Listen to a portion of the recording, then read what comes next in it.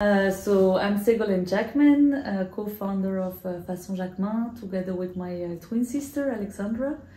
Um, we started the brand five years ago, uh, Façon Jacmin. We wanted to um, to create a wardrobe for women that empowers them, uh, and and we did that by choosing the the denim as a main core fabric, because denim has that capacity of um, yeah of, of uh, giving a, a strong uh, feeling like you feel really empowered when you have a denim on um, but we wanted to to innovate around uh, the denim to use it in a different way because the, the jeans coats are quite uh, present and sometimes uh, we, we thought it was um, was a pity that you Yeah. could not use that fabric that is so uh, loved by everyone and w- worn by everyone Yeah. in a different way. So we really thought there was um, was in, it would be interesting to to use it differently and in a whole wardrobe. So not just jeans, jackets, or pants, but really like um, could be bodies, bodysuits, or dresses, or uh, whatever.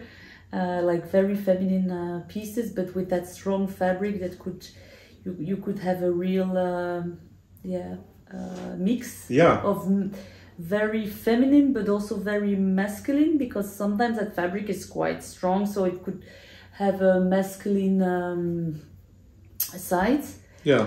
so yeah that's uh, that's how we we launched the the brand i, I was in directly in, in love with the proposition alex uh, made because alex alexandra my sister is the designer and i was i come from a totally different um, background but i wanted to to um, launch my business and and do something myself and when i heard about denim uh, something was really concrete really uh, accessible in some way. Uh, I, I thought, oh yeah, very interesting to use denim in a more designed uh, way, more haute couture or more high end way. Yeah. So I think it's yeah, that's that's the the short story Yeah. of, of Façon Jacmin and um, and and voilà. Now we have a team of four, and uh, my sister and I. That's amazing. So one thing that I know the brand is known for, especially because denim is something that sometimes can be an unsustainable fabric. Yes. I mean, so much water yes. is used to make denim, like very water intensive. So can you talk to me about how you guys have sort of innovated in the way that you produce your denim? Yes. Um, first, before going uh, about different aspects of sustainability and how we, we really want uh, we really introduce sustainability in our brand, I think the the um, starting point was also that a denim piece, the or, or denim pieces, the purpose is really to keep uh, your piece the whole life because of the fabric that is okay requires a lot of water, but it's um, quite resistant. Uh, and you can wash it and, and you know you don't need to it's not delicate. Yeah. it's a resistant uh, fabric that you can wash yourself and and like a piece that you can pass from generation to generation. So that was also the idea like a denim jacket that you could you know keep on keep on wearing the your whole life and that you say oh yeah, i remember i had that that piece for 40 years and it's still uh, perfect and Yeah. it's it's being uh, better and better actually because of the um, the the Yeah, patina you the texture and even yeah. the fading and the, yes exactly uh, and also in some some way um, some models are quite timeless as well so because of the fabric that is resistant there are also some really timeless models it is sustainable in that way but then of course yeah the, the, the denim is cotton um, and, and requires a lot of, of water so we started working with um, organic denims uh, also we're working with uh, many japanese and italian denim so for sure japan, ja, japan Sorry to, to interject. Can I ask you a bit a big question? A lot of people that are really into denim. Um, and I wouldn't say I'm a denim expert, so it's good to ask you. Is what is it about Japan that a lot of people like Japanese denim and say that Japanese Yeah. denim is high quality? Um, two main um, points that um, make the denim in Japan better. And um, first, it's the color. Um, the the indigo colors shades they they get. It's, I mean, it's their own recipe, but they, they, it's much much better. It's a very intense blue, indigo blue. Um, and Japan was actually it's both natural indigo and synthetic indigo. They they are one of the last countries that um, work with natural indigo. Uh, it's hard to find another. Most of suppliers don't work anymore with natural indigo because demand is declining. I I, I guess, but that that blue is beautiful. But even the the synthetic blues are so much nicer. It's very intense blue, less. Um, uh, yeah brighter or it's hard to de describe the but you yeah you can see i remember yeah. my sister asking me the the first yeah um, the first season when we launched the brand japanese denim i was like oh wow but that is why it's the most expensive denim yeah. please but then very quick I, I also saw the difference that it's less grayish less so that's one of the two points. And then the second point is the the weaving machines. They have super good weaving machines that tight the denim that weave the denim more tightly.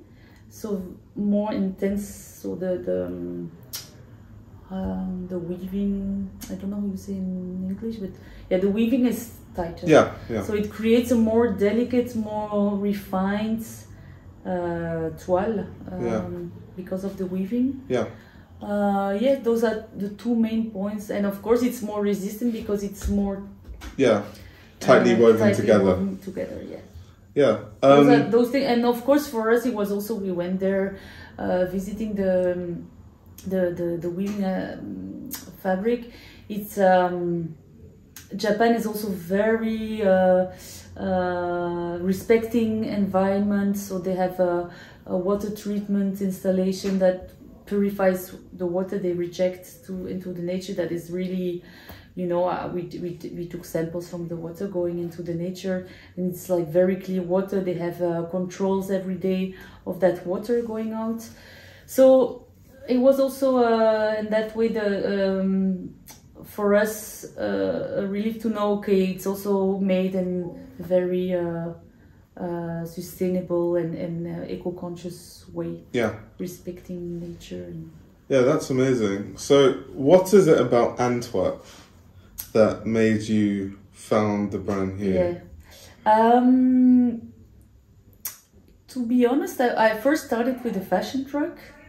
Uh, in the weekends uh, was amazing. was next uh, around the corner, uh, and was a great experience uh, I thought the, the ladies, the, the public, the, the consumers here are, uh, uh, uh, the, the women are looking for very nice um, new brands, creative brands. They, they, they take care of themselves and the, the, the clothes they wear. They're very fashionable, I would say, in some way. And yeah, probably also the school, the Fashion Academy in Antwerp could probably has um, has a, a, role to play. It, it's a very um, fashion city actually. People, both in terms of yeah, uh, students and artists and and uh, creative talents. Yeah. But also in terms of uh, which is uh, important when you have a shop, of course. Um, in terms of consumers, the, the women here, I have the impression maybe it's uh, I generalize, but I, I think we have the shop now for three years and uh, I can compare with other cities. I have the impression the women like to uh, to be aware of new new things, new uh, brands, clothes. Uh, voila, they they have a they like to spend a budget on on their clothes. Oh well, that's so that's that's, that's definitely amazing for a brand hmm? to have. That's yeah, amazing yeah, for a brand to have yeah, a customer base. Next to that, if if I think just in terms of Antwerp and less connected to the shop or the clothes or whatever or fashion, I think it's a it's a very amazing city. I was living in Brussels before. Now I live in Antwerp. It's a it's a very nice city, very yeah, creative. Um, uh, creative atmosphere. Um, it's, of course, it's you cannot compare Antwerp to Brussels, but I, I like me because it's it's clean and still it's yeah. it's a city. It's not a village, and for, I like the vibes. Maybe um, I, um, yeah. Yeah. Coming from Brussels, I, um, I really like Brussels as well before, but now I'm very happy to be here. It's uh, also the, the the restaurants, the bars, the um, very creative uh, neighborhoods and and bars, and I really like the atmosphere here. Wow. So another question I have to ask is, considering that the brand revolves mainly around a fabric, a specific fabric, which is denim, what are some difficulties that arise because of that? You mean for me or for my sister or for, For in both, general? in general. Hmm. Uh, I, difficult question because um, for me, not really difficulty. I remember people at the beginning saying, "Oh, are you sure? Only denim?" But, uh, at one moment, you will be. Uh, also, my family will be bored uh, wearing denim, and but uh, to be really, really honest, I've never had that feeling like, oh, again denim because every piece is different in the washing and the color and the cut and the thickness. So, and you can do so many things. Um, also towards clients, I, I don't have impression that uh, you know it's it's a it's a choice. Also, my sister, I, I don't think she's um, she's she feels blocked or constraints. Um, plus, we we introduced uh, some. It's a small uh, part, but some other fabrics to contrast the the denim and and create reliefs relief with other pieces, other fabrics. So um, we don't feel it's a constraint for us. Maybe I should ask a question again to to Alex, but like even short time ago, I, I asked and still uh, Yeah. happy with the choice because you know when you're designer, it's completely different than my position and. But no, I, I also observe her. I don't have the impression she feels uh, constraints. Still many uh, domains to to, um, to to develop or to Yeah. uh, yeah. Yeah. Um, so, how do you feel like the landscape of Antwerp fashion has changed since when the brand started? Uh, phew. Um, Antwerp landscape. Oh, that's hard to say. Um, so at that time, I I was less in Antwerp, but okay, I was aware, I was following a bit the, the trends, but um, you mean you, if you say Antwerp, you mean retail or, or Both, Antwerp both, designers? I just want people to have a sense of Yeah, like yeah. how the It's hard to say. Uh, to be honest, uh, I don't know since I started and, and specifically for Antwerp.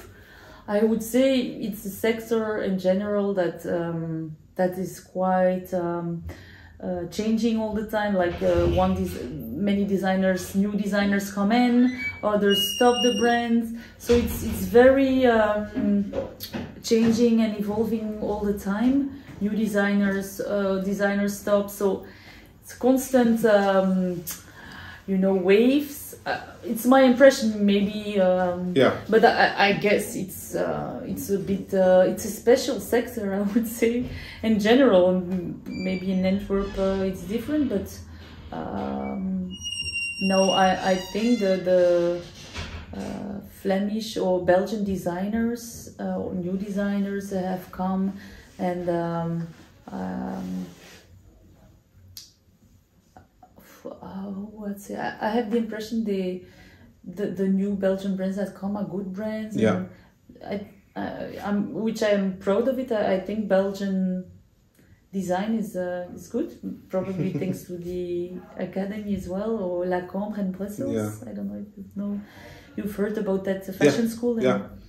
Was it's a very famous school as well. So we have two very good Yeah. fashion schools in Belgium, which is quite nice. Okay, if, Antwerp or, or broader, Bel- the fashion sector is is very uh, in movement and yeah which makes it um, challenging and also um, you you continuously uh, try to be at the top, change things, innovate. You know, it's not because you, yeah you do, you never um, you never uh, like ah okay now we just do what we do and you constantly Evolve. thinking uh, trying to evolve to to surprise yourself and and you know, the public and Yeah. So when I first came to Antwerp, actually, I'm not sure if you know like Caroline from Momu. no no Yeah, but she she gave me a fashion tour Yes. on all the places about fashion in Antwerp, Yes, yes, and then yes, of Momu, yeah, yeah. Yeah, her. And know she showed me the store, the which is why yeah, yeah, I was um, very interested to like find out about the store because she was telling me about the denim and how it's known for the denim, and it seems that people in Antwerp there's a clear understanding that this store you come here and you get really high quality denim. But I think my question is, what makes the brand different to say other denim brands? Yes. I think it's the style for sure. Uh, because okay, you have many denim, or many may, maybe not many many, but you have some denim brands. But I think the style, how we use the denim and the cuts and then the style, like uh, feminine elegance, but still that masculinity, the mix of the both. Um, yeah, I think this is uh, recognizable for for Façon Jacmin. Uh, the style of the whole collection, the whole, the the, the whole, Yeah, uh, and and I think also piece by piece you you you can recognize. I think my my sister likes to. Um, um, revisit the coats, the Yeah. jeans coats, um, and and that is something that is recognizable. How she also deconstruct pieces to reconstruct them. Those um, how she puts jeans coats in a different way on a totally un, unexpected place, or those things uh, and the style and the, the, the design of the, the pieces are quite uh, unique. I would say it's Yeah. not. Uh, we are not Levi's or. well, Yeah, I mean, yeah, I mean, if you look at Levi's, their style is very. I don't know what the right word to use is. Is plain is not the right word, but they have a very. mhm. The style is not creative. It's just the plain. Mhm, mhm. Uh, plain is not the. I'm still not No, using no, the but, right uh, word. Yeah, but I'm, I'm uh, also very streetwear. yeah, Um, so yeah, I, I know what you mean because plain, uh, of course, they also Yeah. probably have uh, uh, many washed, um, special washed uh, pieces, so creates less plain pieces. it's more the But silhouette more, um, that's more it's- plain. Yeah, Yeah, and it's probably. I mean, uh, it's it's not bad. Eh? I'm. Uh, I think it's a very cool and great brand, but more streetwear and the, with the typical jeans coats. yeah, And we we like to give it a twist, to to to play with those coats, to remove the coats of jeans, to yeah, to to to give a twist to the pieces and and and also um, have that femininity yeah. uh, that feminine aspect in, in making the yeah the denim more yeah different Yeah. So I have more technical technical questions to ask because my audience that's probably what they'll love Wait, the most. maybe I will need to call my sister Maybe she can help. Shoot, yeah. But um, first things first, what makes high quality denim? Like, what about uh, so, let's say a pair of jeans makes it high quality? uh, for what I love about uh, I'm reacting uh, very spontaneously. What I lo- love about our jeans, but um, it's that you normally people expect when you buy jeans, you, after a few days wearing it will uh, loose, Yeah. get more loose. But um, uh, for instance, we don't have that, so um, I think I, I like it because I, I've always uh, disliked that when I bought pants before and after one week it's like a bag or think oh no I bought too big too big and then you know how it goes. Anyway but so um that's probably also uh, due to the quality of the denim that the weaving is tight and then it get, it, it keeps the shape. Um high quality denim um yeah of course the for me the the, the blue shade the color also important I think a, a further question to ask would be like, for example, the wash of denim. How is it that some jeans when you buy them and you put them in the wash, the, it loses color very easily, and then some don't. What Um, is that in yeah, the yeah, dyeing process being very high quality? Yes, or what, actually, what it's also one of the um, the points uh, about Japanese denim. We also explain it on the on the website, and I knew I had the third point and I forgot. um, but they We've do, come round to it. Yeah, yeah, but um, they do eight baths of color of dyeing. They also explained to us when we went there and we saw the, the whole process. Um, where like I don't know countries that are big producers of denim like Turkey or um, they they do four baths mainly. Yeah. In general, it's like that. So it's like double more dyeing work. So you are- you are more sure about that that color that stays, uh, which yeah I think is important. Uh, even if you like when you know with time it fades, but you don't want the color to go Yeah, too completely fast different. away. Yeah, like you, you like when you've worn your jacket for 10 years and then by then Yeah. you're okay but then if it's after one wash and it's like already white things uh, yeah yeah sure that's also one very important aspect of, of the quality of denim and that is for instance very um, different in japan yeah. Okay, so the last question I have to ask is if a woman comes into the store and they don't know much about denim and they want to buy something, what would you recommend? Um, I'm thinking two or three pieces. She, but she, she, mm, she doesn't know about denim. What do you mean? Yeah, she's She not. just, I, yeah. I just need to to yeah, give her. I mean, we have one uh, very interesting piece. Uh, I think. I mean, we have more, but um, um, let me first think if I take that one because now we have quite some pieces and I have many favorite ones. uh, but we have one with um, it's a dress. That's also something I like because you, you would not expect at all that type of dress. It's she's called a ru- ruby dress. It's a zipped. Um, you have two zips, one in the front and one at the back. Also, the zips create a very um, seductive side, you know. um, but uh, it's a very nice uh, dress with uh, very elegant shoulders, and the fact that that type of dress you you have it in denim, it's quite uh, unique, I think.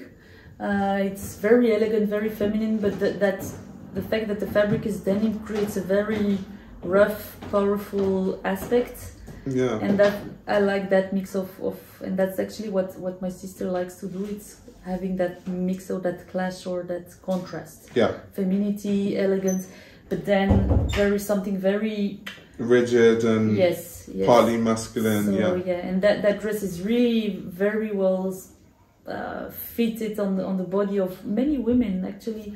Different bodies uh, the dress uh, fits um, all bodies. So I think it's a very interesting piece and an iconic piece I would say yeah. Okay, thank you so much. Uh, you were you were actually amazing, honestly. Oh, okay.